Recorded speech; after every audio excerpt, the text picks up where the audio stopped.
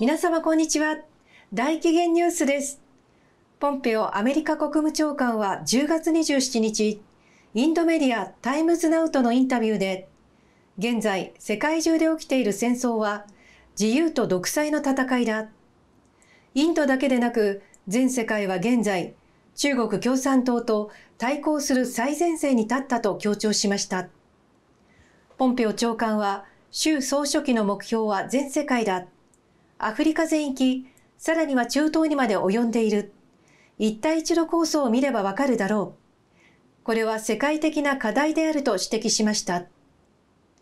ポンペオ長官はさらに、アメリカはこの課題を理解しているとし、中国の対米投資をより困難にさせた。我々は公正で互恵的な取引条件が欲しいだけだ。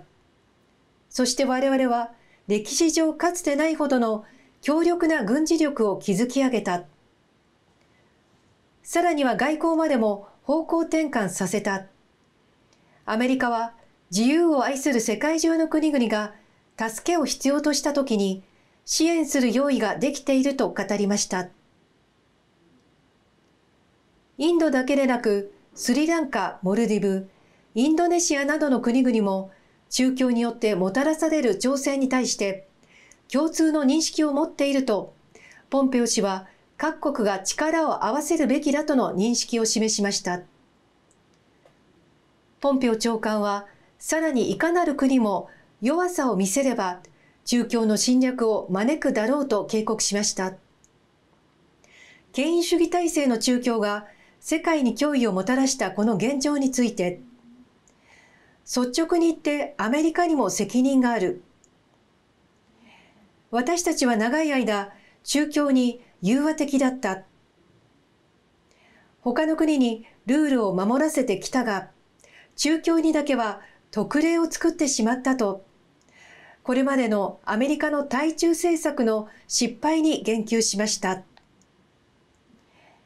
ポンペオ長官はインタビューで、武漢からのウイルスは世界経済を破壊し、何百万人もの人々を殺した。多くの国は中共の問題、そして民主と自由こそが正しい道と理解している。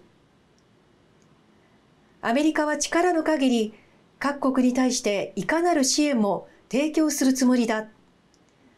アメリカは共に戦い、中共に対して抑止効果を発揮できると確信している。それは使命だと表明しました。